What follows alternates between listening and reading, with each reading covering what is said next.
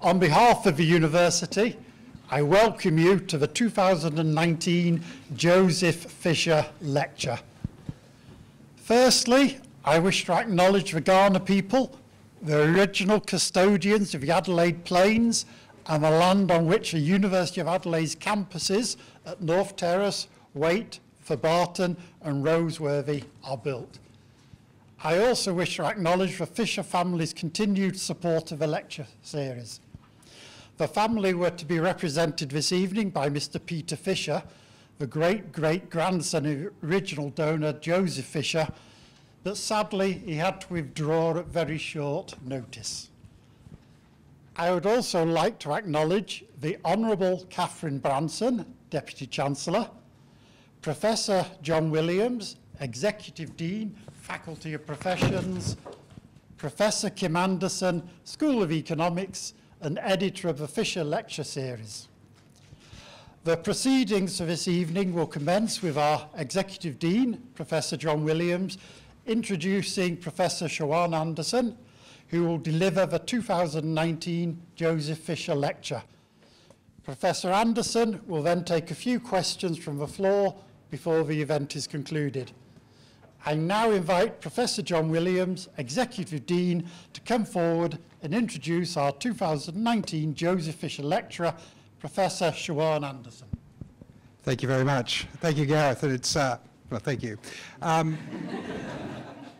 I too would like to acknowledge the Kaurna people, the land upon which our campuses are built, and I acknowledge their, their leaders, many of which will be coming from this university. Uh, I am very much delighted to be uh, in introducing our speaker, but before I do, I'd like to say a few words about uh, the lecture. I'd also also like take my opportunity to acknowledge the Deputy Chancellor, Honourable Catherine Branson, uh, and the two Andersons, the professors. I'd like to also acknowledge their roles too. Thank you this is very much a prestigious uh, lecture and it's tremendous to see uh, colleagues join us here today. The Joseph Fisher Lecture in Economics and Commerce was presented at the University of Adelaide each year since 1904. Now if you think about that in the context of Australia, I mean the, the country came into existence in 1901 so it's been an ongoing uh, connection for this, this university. The lecture and the medal for the top student each year was established with a £1,000 endowment in 1903 uh, by the prominent Adelaide business person Joseph Fisher. The University of Adelaide and the School of Economics has been very proud to host eminent speakers, including two Prime Ministers, Sir Robert Menzies from Australia and Michael Moore from New Zealand. Uh, and the Nobel laureate Joseph Stiglitz as also amongst other high profile lecturers. Tonight we're privileged to have Professor Anderson. Uh, professor Anderson is currently the Professor at Vancouver School of Economics at UBC in Canada. Uh, she's a development economist and I've had the privilege of looking at a couple of your lectures on, on YouTube uh, in that area, looking at microeconomic level approaches to institutional and development countries and also gender uh, economics and focusing on women in the economy. And I, I understand today you've also spoken to some of our economists, women economist groups. Uh, I've had a brief word and I, as I was saying, there's probably nothing, there's very few hours left for her to sleep since she's been here. I think we've got you know, a seminar for two days coming up and then quickly her back on a plane to teach uh, in Monday back in Canada. Professor Anders is a Senior Fellow at Canadian Institute of Advanced Research, the Bureau of Research Economics Analysis and Development, the Theoretical Research Developing Economics and the Centre for Effective Global Action at the University of Berkeley. So a very notable speaker. We are very fortunate to have you here today and it, look, it gives me immense pleasure to introduce the 2019 Joseph Fisher Lecturer, Professor Anderson. Thank you. Please welcome. You.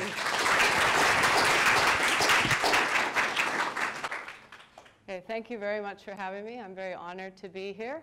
Um, so yes, I'm going to talk today about uh, missing women and I'll first just uh, introduce the subject. So essentially, you know, since uh, 1979, when this uh, international treaty committed to, you know, uh, the end of all forms of discrimination against women, um, empowering women in, in, the developing world has been a primary policy goal.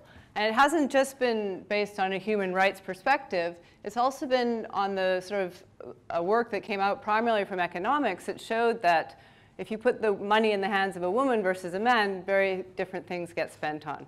And in particular, women are much more likely to invest in child health and education, which is a very important role uh, in development, of course, human capital accumulation. And the UN Millennium Development Goals, which committed all UN member states in the year 2000 to goals that were going to eradicate poverty in the developing world, made gender one of these main goals for that reason, that gender uh, empowering women can, is a tool for combating poverty, hunger, disease, and even uh, stimulate sustainable development. And since the year 2000, they revised these goals. And since the year 2000, we did achieve this goal of essentially comparable education, universal education levels amongst boys and girls. But we have almost everything else left to achieve still.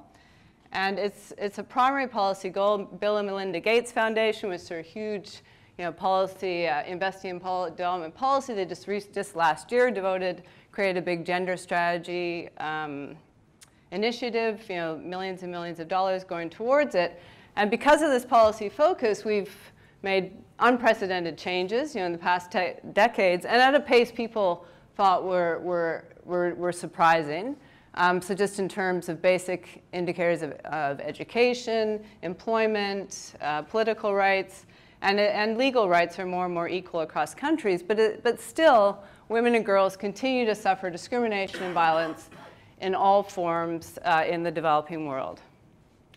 And so just to give you a rough sense, these are like there's now the UN and, and OECD, they put together these gender indicators, right? So just to give you a broad, so this is sort of, on the left is the panel of you know, the developing regions of the world. And you see just basic, these are just basic gender bias social norms like genital mutilation, whether polygyny is accepted, whether your mobility is re restricted in any way. Um, these are all increasing. So things like in you know, countries in West Africa, you saw 50% of women suffering genital mutilation. Polygyny is very accepted in Africa. Um, these are just basic legal rights. So these are indices that are equal to zero if males and females have the same rights, and then they increase in discrimination towards women. So one is completely discriminated, you don't have equal rights at all. So for example, in North Africa, you know, widows don't have rights to inherit, daughters don't have rights to inherit, and so forth. But nowhere in the world. So in all these indicators, you usually see the countries in Africa the worst off. West Asia is often poor, uh, poorly off too. And Latin America and the Caribbean are the best off, but still, women are not protected there either fully. Um, and then it carries on, you know, rights within, within marriage, again, not equal rights at all. And then just basic indicators like and, land ownership. So this is the proportion of women that own any land at all. You can see it's in general less than 20%. Political representation is less than 25. And then literacy, so even though we've achieved, this is like overall literacy in the female population. So we've achieved equality in terms of uh, primary school, but then again, it's the quality of the primary school where they're actually literate. But you see country like, countries in West Africa, it's as low as 31% of overall women are literate. But then coming to the topic of this talk is the star perhaps the starkest manifestation of this gender discrimination in the developing world is this notion of missing women. So this was a, coined by the Nobel laureate Amartya Sen in the early 90s.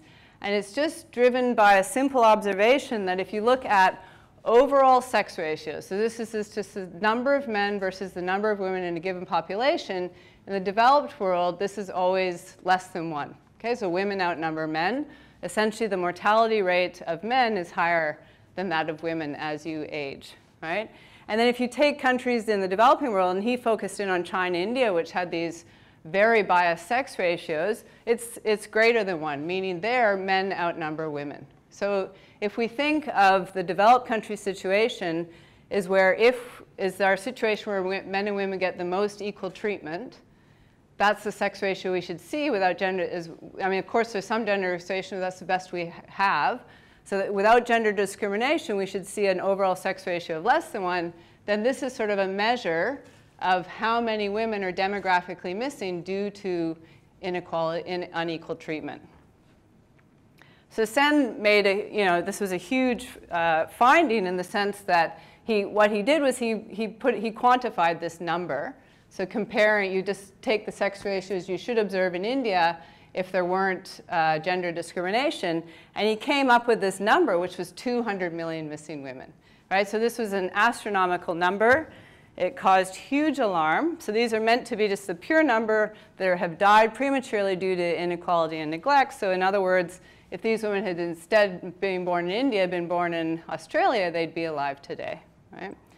Um, so this, of course, caused huge alarm policy, in the policy world, the academic world. So people started to research this.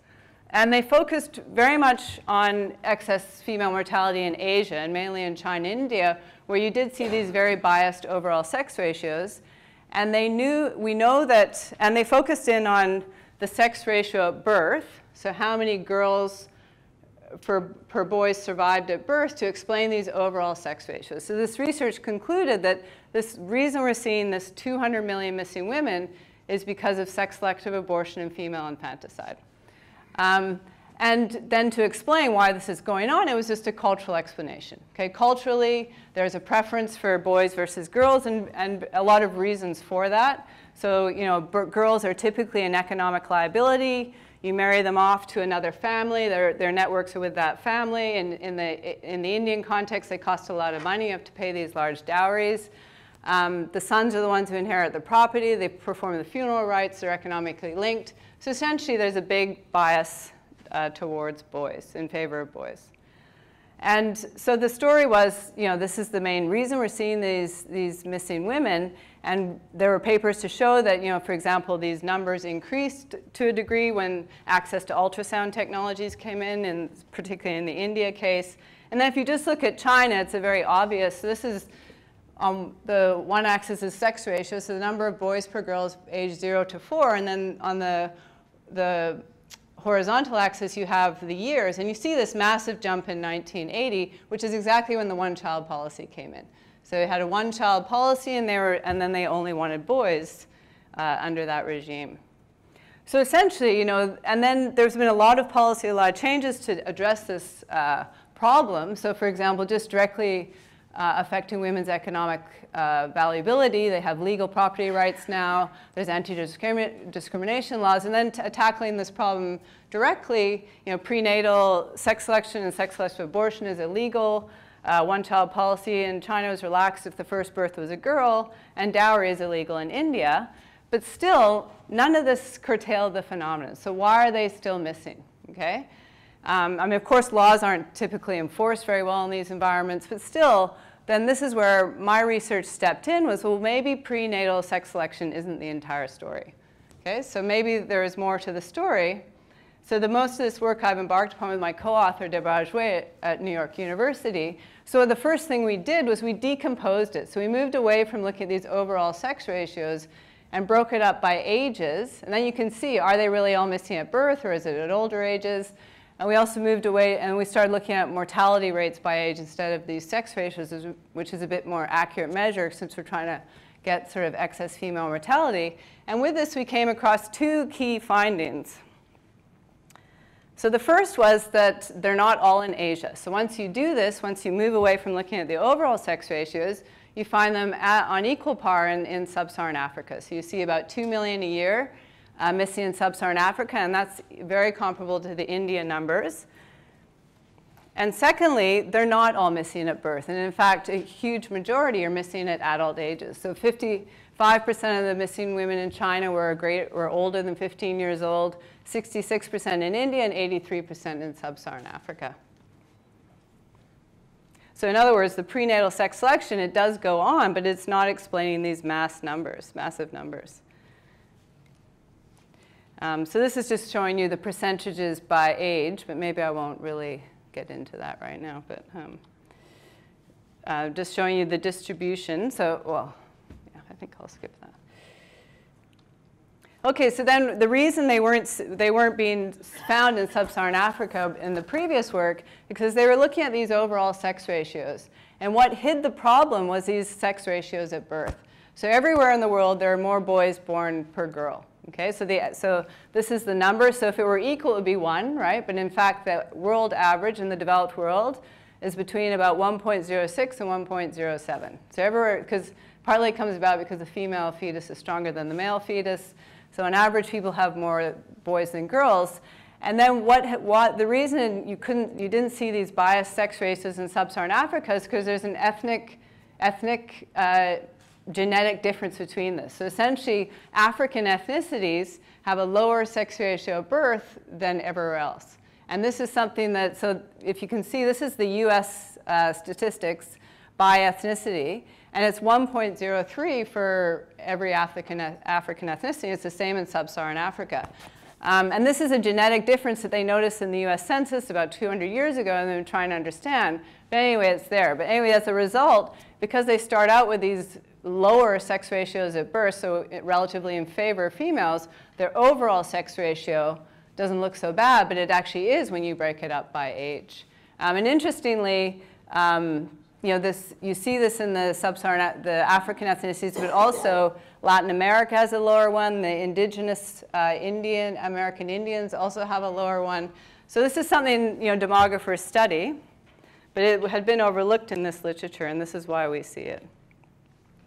So then the thing was, uh, so first, if they're not all at birth, then it's certainly just not this simple cultural explanation. Okay, so um, instead, so the ones that we actually can associate at birth were, were 11% in India, which meant 200,000 a year, uh, zero in sub-Saharan Africa, and 30, and the highest proportion missing at birth was in China. Um, and these are huge numbers and alarming things we should be concerned about, but it wasn't that order of magnitude of 200 million that they had first talked about. So instead, it seems like there's discrimination at all stages of women's lives that play in a role, and probably each region's story is different. So our first step for further research was to look at sort of the geographic distribution. So we first did it by within India, and there the story is that in northern India, people are, there's way less, there's much more gender discrimination in the south. The missing women were mainly coming out of the north. And again, we find that, you know, once you break it up, you don't see that. So this is just starting with the sex ratios at birth. And again, the overall average in India is, depending on the years of data you use, is 1.08 or between 1.08 and 1.07. And first, this isn't that alarming in that, for example, in Northern Europe, you see higher, lower ones in Southern Europe. So in Spain, you'll also see 1.07, for example. And we don't think there's any sex selection abortion going on in Spain. And then you see this massive variation. These are the different states. So you do see these, like Haryana and Punjab, have shockingly high, right? 1.35. And that was sort of the story. But then the ones where you see the lowest, like Assam, which is uh, you know, 1.0 or 1.02, or Madhya Pradesh, these are not uh, southern states. These are in the north. So first you see variation, also the, the story is, is, hard, is uh, not consistent across the country at all. And then we look at, so this is just to show you by state at the different ages. And the point is mainly being that it changes, so each state's a different color, that it changes by age, okay? So um, the, that was at birth, and you go from 0 to 15. And again, the, the which state is explaining most of the, the bulk of the missing women changes. So it's again just not a simple story, and there needs to be much more explanation to understand this. So for example, what we did see, what consistent with the earlier research, is that these missing women at birth were shockingly high in these two northwestern states, and the excess female mortality at all the ages was lower uh, in the southern states, where we think we know there's less disc gender discrimination, but these regions added up to only a total of a quarter of the total missing women. So essentially, you know, a lot uh, die at adulthood, and, and we don't uh, know why. We did the same thing for Africa, just again, there, the, the previous story was there weren't any at all right? So we broke it up by region. So here you have the 0 to 14 young group, and you see the huge proportion in the West African countries, and then East Africa. Southern Africa has very little in the younger age group.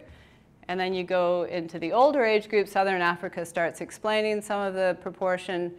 Um, and East, the part explained by the East gets much bigger. And then if you dig in even deeper, you see particular countries are responsible. And this is the, the younger ages. So this is the missing women between ages 0 and 14. You see certain countries are very responsible. So for example, Somalia there, Chad, uh, um, Central African Republic, and so forth. And then if you move to the older age groups, it's a different story. It moves a bit more into the southern part of Africa. Um, so then our next step was, okay, well, we've seen that there's no easy story. Can we, can we, decide, can we figure out what diseases and causes of death are most responsible? So now we're trying to figure out which uh, actual cause of death. And what you see is, so for the, for the younger ages, so we have a lot of missing women, about 300,000 a year in each of India and sub-Saharan Africa, and they're missing, they're missing between ages zero and four from preventable diseases. Okay, so one is uh, diarrhea-related diseases, which are all you know, due to poor sanitation, or vaccine-preventable diseases.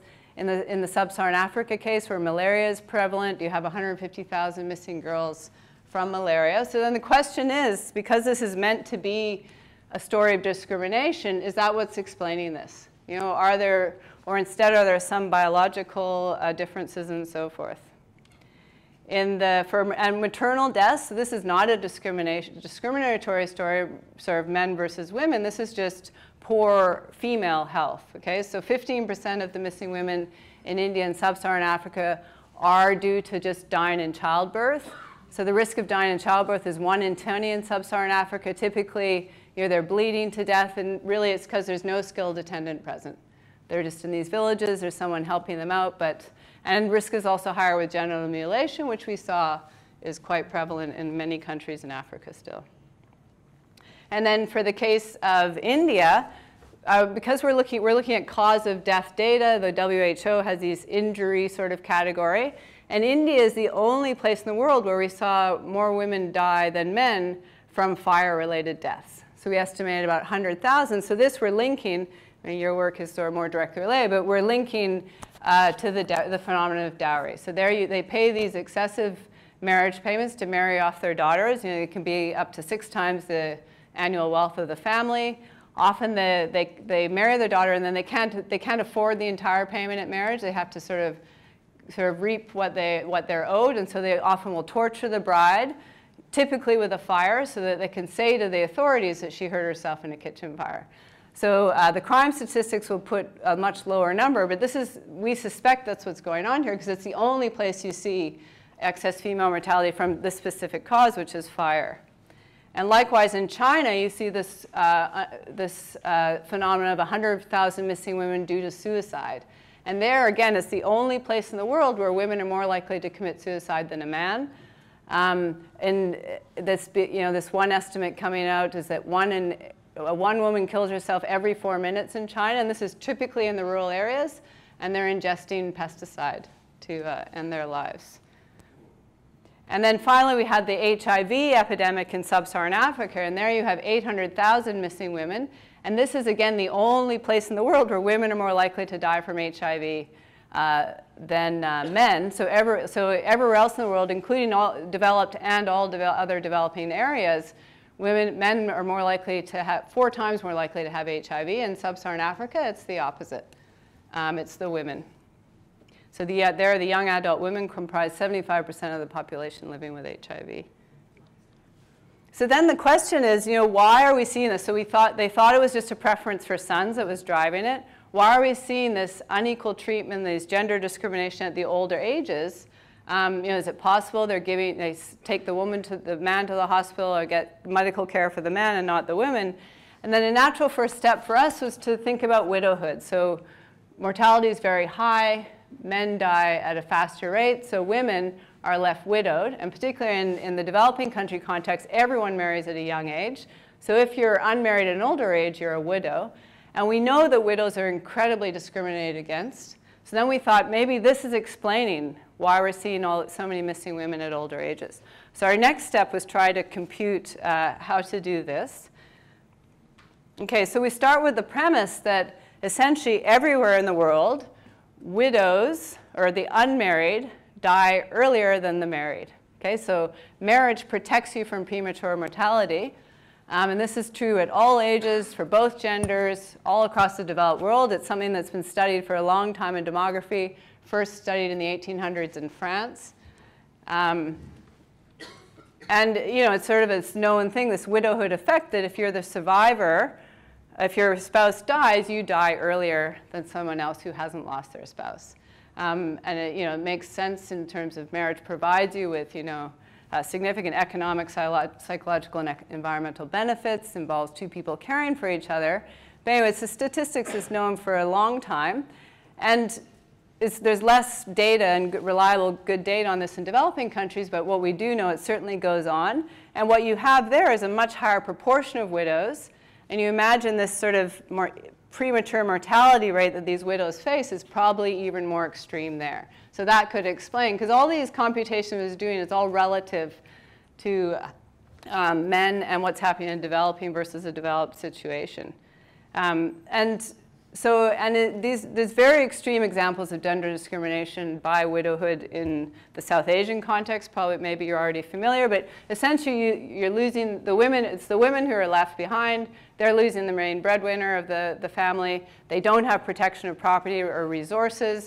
Um, they're not allowed to return to their native, typically women marry, or, you know, they, they leave their village, marry into another village. They're not allowed to return back to their natal village if they lose their husband. And then there's actually very strong customs of isolation. You have to eat a certain food, you have to dress a certain way. And the most extreme that you may infamous that's not very widespread anymore was sati, where you actually were, you know, burned on the, the cremation pyre of your husband. Uh, you burned yourself. Anyway, so it's no small matter. There are about 50 million missing, uh, 50 million widows in India. And then a similar plight in Africa. So they're very, they're ostracized. They also have these laws of isolation. And also actually there, they even link it to witchcraft. There's these witch, witch killings because there often there are these customs that when someone dies, there's a reason for it. Someone's to blame. They often blame the wife if it's the husband. So given these hugely extreme vulnerabilities, both social, economic, and so forth, you can imagine maybe this is explaining a big part of our missing women puzzle. Um, and this is, I won't get into these graphs. These are just showing you uh, that, these are just indeed showing you that the relative rate of widowhood is much higher in developing countries and this uh, mortality from widowhood is. Um, so I won't get into those. But this is, so then we compute, you know, how much of these missing women at older ages can be explained by widowhood. And for the Asia context, it's a big part of the story in India, um, but not as much very little in China, not much in West Asia, and, if, and a bit more in South Asia. And then we find uh, for Africa that it's a big part of the story for East Africa. And if you recall from when we did the regional breakdown, the biggest chunk of missing women is actually in West Africa. But this is explaining a huge chunk of the East Africa. So there's something going on uh, with those customs, and the customs of ostracization and so forth are probably stronger in the East African countries. So then um, the question is, um, what time am I supposed to stop? In about half an hour. Oh, okay, I'm going really fast, so it's okay. I'm going to have lots of time for questions. Okay. So then the question is, um, you know, what, what sort of mechanisms could be at play? So this is just sort of a raw correlation of, you know, on one side you have these missing women. This is just African countries of these missing women. And then on the other side, we've got on the horizontal axis, we have GDP per capita. So this is actually showing you there's no straightforward correlation with poverty, right? So if anything, this graph showing you it's positive. Um, and then if we instead break it down by the poorer countries, so this is lower than the median, um, the, the set of countries that are below the median GD, uh, income per capita, then you do see a slight negative relationship, meaning as the countries get a bit richer, the excess female mortality or the missing women starts to fall a little bit. But there's not a super obvious correlation at all with just straightforward poverty story. But then if you look at mortality rates, so there's certainly a very positive correlation. So the more, the higher just overall adult mortality rates are, so that's along this axis, then you see many more excess missing women. Okay, so the higher mortality countries, you do see uh, higher numbers of missing women. And then you see that particular diseases are responsible. So for example, just the diarrhea-related diseases, the prevalence of them. So they're, they're, the more prevalent, prevalence, more higher mortality rates just overall from diarrhea-related diseases, you're going to see higher missing girls Um, similarly, for HIV prevalence, you're going to see higher missing women of the adult ages and uh, higher malaria, the same thing. So this is just to say there's not a clear thing, clear correlation with poverty levels and GDP as measured by GDP per capita, but there is a strong correlation with just particular disease prevalence and uh, mortality rates. And that's also, we haven't found in the general literature, we haven't been able to say there's a strong correlation with GDP per capita and just overall mortality. That hasn't been very well established either. Um, so there are just very uh, specific stories with regards to disease. So then the question is, you know, why are we seeing this? So first we see particular diseases are responsible. Why? right? So is it the case that, um, you know, and we can't answer that really. I mean, there could be biological, social, environmental, behavioral, economic, and so forth. Huge amount of factors leading to this. Um, and when I got into this research, I was surprised that the medical literature hasn't, they don't focus on these sort of big gender differences. Because this, this change in the fact that women die at a slower rate than men now in the developed world. That only happened around 1900 in the developed countries. And this transition um, is partly due to the, the disease components. We used to die of different things, which is what people die of now in the developing world, these sort of more communicable diseases, infectious diseases, versus non-communicable like heart disease and cancer. So, but there's very, so it's obvious that women were dying at a more equal rate uh, from these other diseases. with very little research trying to explain that. So anyway, so for example, are there possibly just biological differences? Okay, so for example, we just take malaria. Uh, malaria control is threatened by this sort of rapid development and spread of anti-malarial drug resistance. Could there be a gender component to this drug resistance? And we don't know them. There's no medical literature to say. Um, acute respiratory infections, which explains uh, more so in China than elsewhere of the missing women. In developed countries, we do know that, that, that it's more severe in males than females, so could it be the opposite for some reason? In parts of Africa or China, um, protect, per, perhaps lower relative protective immunity. So that would drive these, sort just these inherent biological differences. Um, for example, HIV, the huge numbers there, there is a genetic difference. So women, in it, because in HIV is being transmitted in sub-Saharan Africa by heterosexual relations, we know that women are more susceptible to catching or contracting HIV in that situation. But epidemiological models have worked on this, and there's no way it's predicting these kind of numbers. So the biological numbers cannot predict this huge amount of excess female mortality from this. Um, then there's this basic treatment, but gender biased treatment that can be part, of the story. So for example, malaria, the way it's prevented is you treat mosquito nets and indoor spraying. Um, Resource-constrained households could be putting the mosquito nets on the boys' beds and not the girls' beds. Um, so there's evidence that you know people give the vaccines to the boys versus the girls. Similarly, diarrhea-related disease is treated just with solution of uh, clean water, um, sugar, and salt. Is it possible you're treating, giving the clean water to the boys and not the girls? Um, this could explain these, uh, these differences. Um, and just female autonomy. So we know that women, right? So women are the ones making the, are investing in the child health. Again, women don't have a lot of bargaining power in the households. And just a basic thing like breastfeeding. So breastfeeding is hugely protective for, for children for contracting diseases. And yet you go to Eastern Southern Africa, only 40% of babies are actually breastfed. Um, so you, do, you know, they're just, the women have to work instead. They don't have time for this.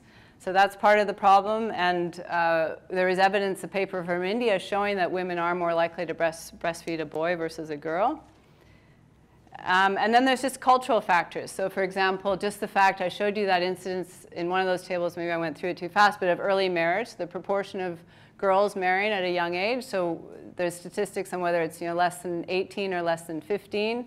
And certainly if you're pregnant, so you're getting pregnant early because you're marrying early, you're more susceptible to malaria as a, as a pregnant woman.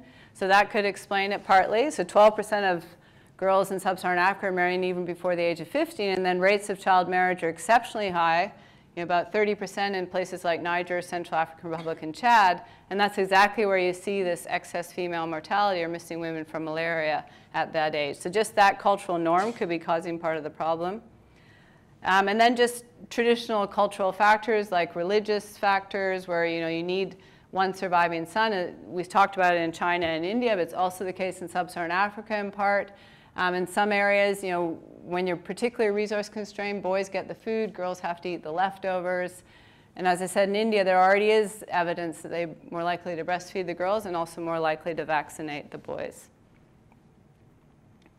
So then just showing you these, these basic correlations between these biased cultural norms. So this is the prevalence of early marriage, and you see a strong positive correlation between that and uh, missing women. This is all using the Africa data. Um, similarly, susceptible to whether the, how much domestic violence, there's not such a clear relationship. I mean, it's a little bit positive. And then this is genital mutilation. And again, there's some positive correlation, but I wouldn't put too much weight on this, but there's a little bit. And then there's a question of just whether legal uh, rights. So these are protection against uh, discriminatory marriage law practices. There's a little bit of a positive correlation. Um, and then discriminatory violence law, a little bit more of a positive correlation, so it explains a little bit, and uh, property rights law.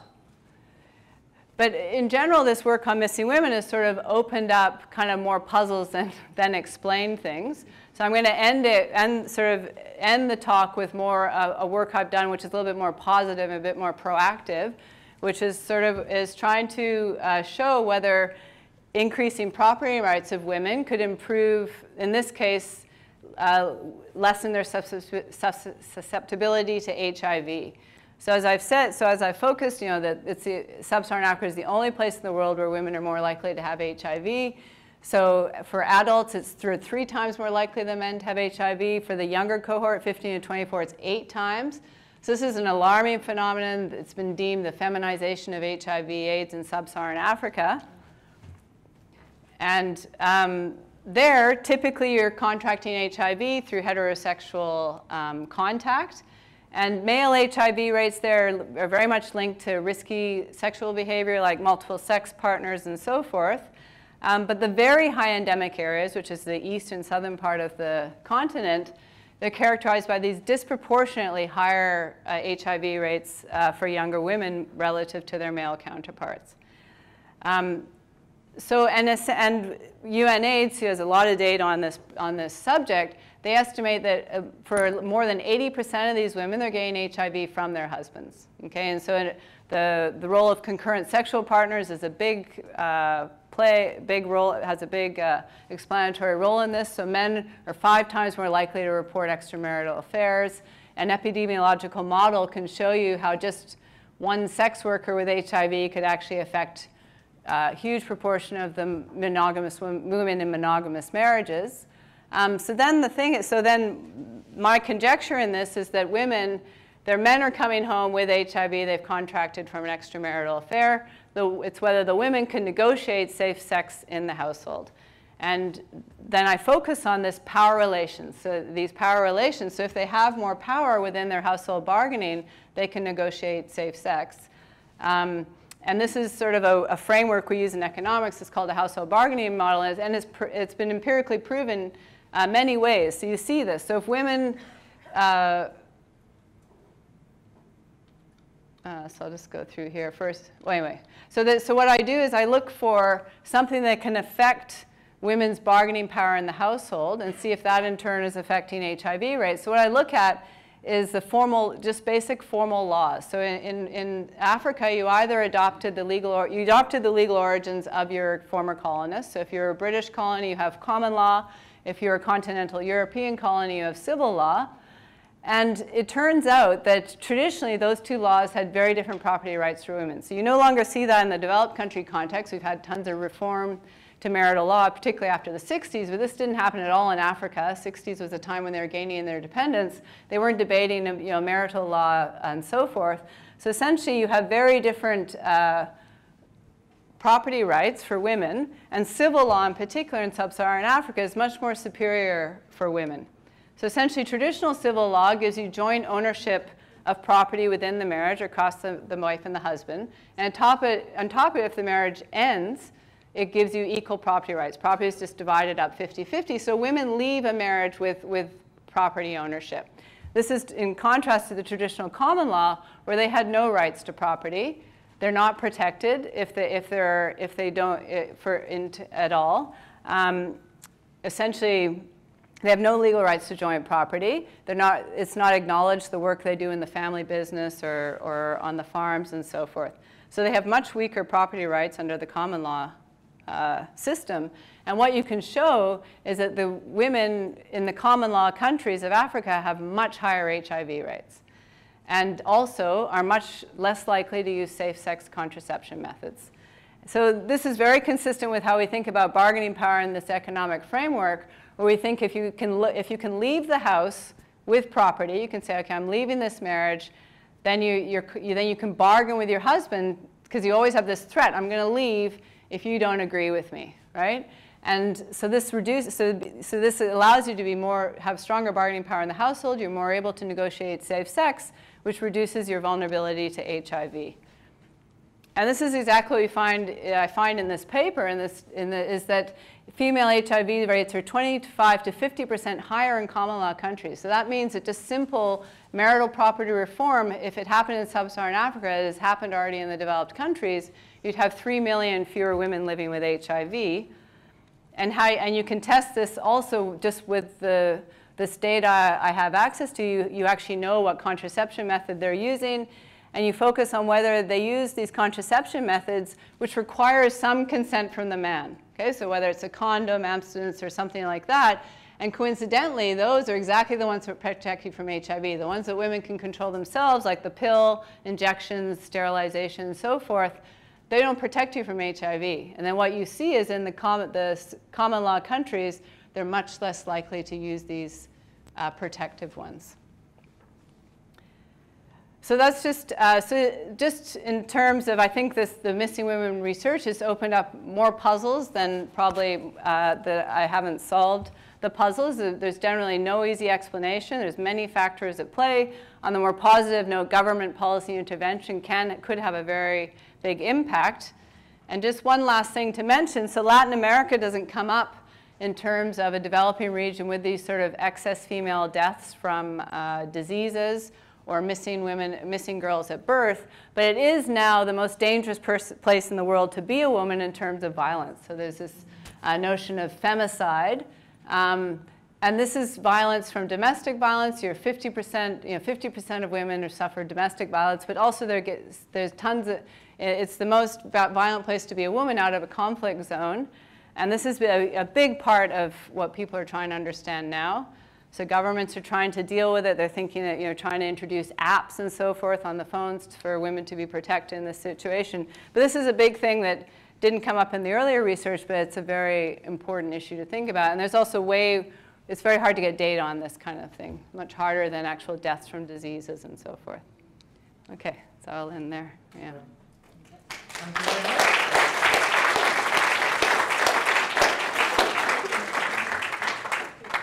a fascinating talk.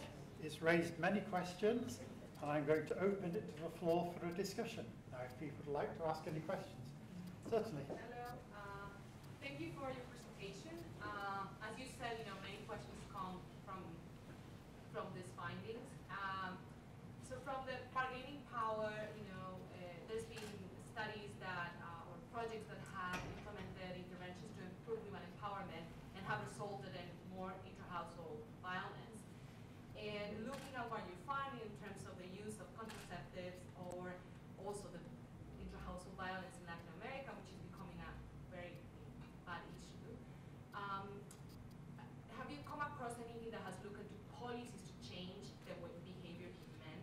Yes. I think, yeah, there's yeah. a lot of, you know, the change of behavior of men might uh, solve. I mean, people are trying. Yeah, I mean, I think like even Bill, at the Gates Foundation has an initiative on that. Um, I know people trying to, so there's actually a paper, an interesting paper in economics, which was on in the Saudi Arabia case, where they actually, in that case, they just asked men, do you think, you know, your wife should work, right? And, and in general, the younger, the younger population of men were kind of open to it. But then you ask them, do you think society, your society or your community thinks women should work? And they completely underestimated that number, right? So on the one hand, they're saying their personal opinion. So say 50% of men said, yeah, yeah, my, my husband, can, I'm, I'm happy with my wife working. Then they said, well, what do you think your community thinks? And they said 20%. So then they did this intervention where they said, hey, do you know your community thinks 50%?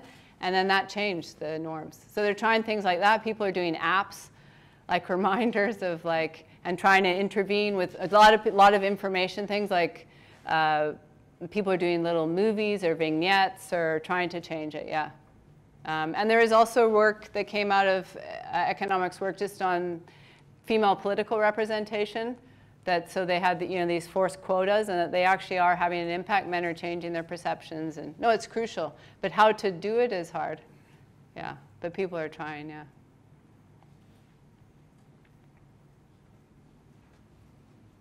Any further questions? Yes, I was, um, the introduction of mobile phones has changed a lot of practices across the world, especially in developing countries. I'm just wondering if anyone's thought of undertaking an analysis of who has access to the mobile phone and does that actually uh, uh, sustain current power imbalances uh, between men and women or does is it is it the case that women are also getting access to mobile equally so is that changing the dynamics that are operating in societies in these particular countries? Yeah, I mean, it's matter. So essentially, one thing is everyone has a phone in the developing world, which is so it's become something that people are trying to use a lot to improve. So as I just sort of alluded to, so with the domestic violence, they're trying to put, especially in Latin America, the government's involved in putting these apps on. So first you have to hide it from your husband, right? But you start, there's the obvious one where you quickly hit a crisis number or just the police, but there's these other ones where you can put three contacts on. So those, you just hit that button, three contacts will know you're in a violent situation. So it's trying to use apps and use the mobile phone for that. Um, Bill and Melinda Gates Foundation that just devoted this huge amount of money for gender. The third, there are only three things they want to invest in, and one is financial inclusion. And this is trying to think of, so they're using the phones for mobile money, because these women can't get access to money. Uh, so you try and use the mobile money through the phones. Um, and that's the next big thing. So it was microcredit for a long time, these microcredit loans, trying to give women, that was, women were a target of that, but that has not been, had huge impacts. So now the next biggest thing is financial inclusion, and they'll be using the phones for that. But we're do, it's happening right now. So there aren't huge results on that, but these apps are being tested. And a lot of these apps are already very present. So yeah.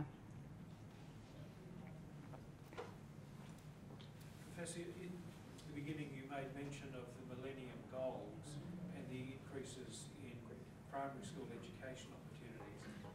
Is your research in any way related to, uh, more broadly, to education attainment and the relationship with missing women?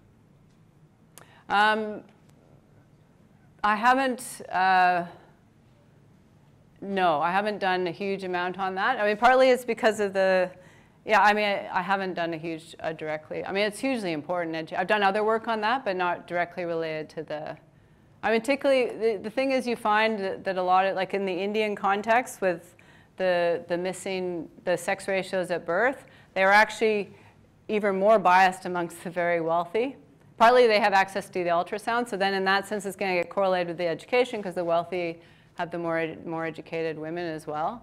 So it's hard to, you have to figure out a way to uncover all these things. Um, but certainly education is a primary goal uh, of, of you know, women can make their own decisions if they're educated, and yeah, yeah. Okay, I think we had a question. Yeah, um, I'm curious about the, the actual definition of missing women. So, um, you know, are they literally missing and unaccounted for, or is that because of poor governance and, and uh, improper police investigations and that sort of thing? Or is it multifaceted, the definition, in terms of, um, you know, uh, unexplained deaths? As you were talking about. Yeah, I mean, it came about really just, so we have very poor data on crime and, and deaths. Uh, so it really came about as just looking at data we have that's reliable, right? So, the, so the sex ratios are a very reliable indicator. Um, so that's how it came. It was really just look at this reliable data. Why, why is this so different? Why are we seeing such different sex ratios? And then the explanation that came up was, there, well, these women are actually just wouldn't, would be alive if they were born somewhere else. So then what's the explanation? But missing women is just this, they are just demographically missing, and it's based on this data on sex ratios. And then we moved to, when our work, we moved to relying on actual death rates by age.